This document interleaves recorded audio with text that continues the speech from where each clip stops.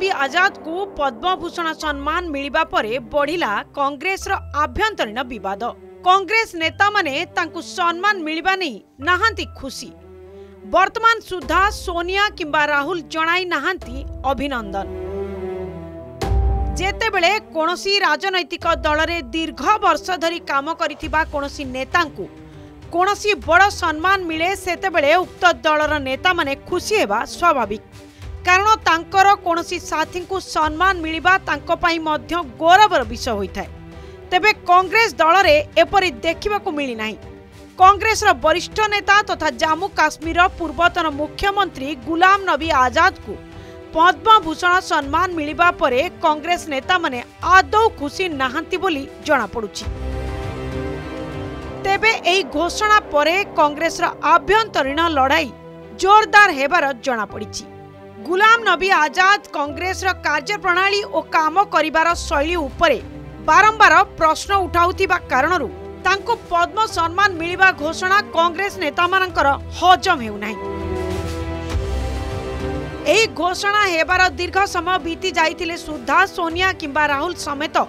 कि बड नेता बर्तमान सुधाई सम्मान साधारण सौजन्यतामूलक अभिनन्दन जहाँ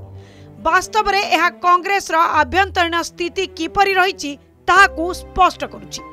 ତେବେ ଏହି ପ୍ରସଙ୍ଗରେ କଂଗ୍ରେସ ନେତାମାନଙ୍କର ଟ୍ୱିଟ୍ ଯୁଦ୍ଧ ଆରମ୍ଭ ହୋଇଯାଇଥିବାର ଦେଖିବାକୁ ମିଳିଛି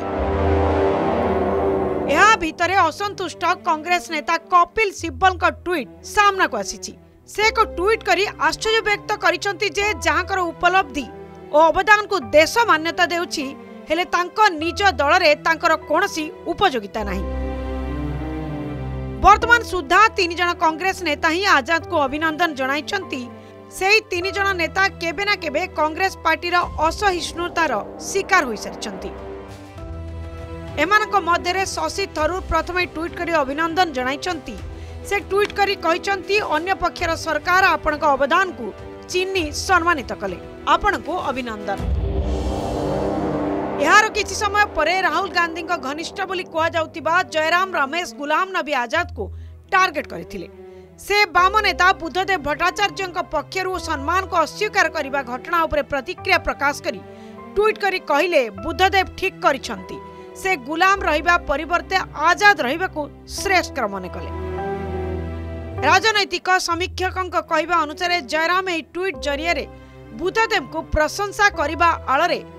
ସମ୍ମାନ ସ୍ୱୀକାର କରିଥିବାରୁ ଗୁଲାମ ନବୀଙ୍କୁ ଟାର୍ଗେଟ୍ କରିଛନ୍ତି